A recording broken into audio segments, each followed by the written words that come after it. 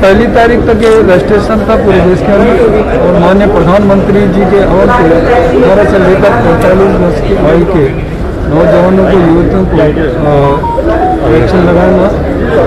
मैं कह सकता हूँ कि जब ये तय हुआ तो उत्तराखंड पहला राज्य होगा कि जिन्होंने ये तय किया कि पचास लाख के लगभग नौजवान तो हम लोग फ्री वैक्सीन लगाए, जिसमें 400 से ऊपर करोड़ का खर्चा ऐसा बैठता है।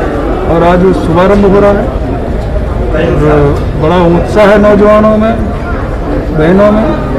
और यही नहीं तो हल्द्वानी में मैं अभी निकल रहा हूँ। वहाँ के मुझे निरीक्षण और जो डी के द्वारा 500 बेड का बन रहा है, सुशीला तिवारी मेडिकल कॉलेज और वहाँ स्टेडियम में भी डेढ़ सौ का ऐसा वहाँ भी देखना है। साथ ही पहला जाते ही पहले वहाँ भी ये शुभारंभ करेंगे जो आज नौजवानों को वैक्सीन लगाने का काम शुरू हो रहा है।